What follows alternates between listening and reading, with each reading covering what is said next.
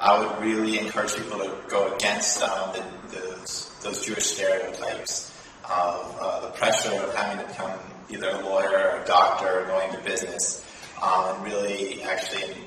um, feeling comfortable to go after different things like whether it be sports or art being a singer, um, just like following your dreams and, and, feeling comfortable to go out there and, uh, and do something different.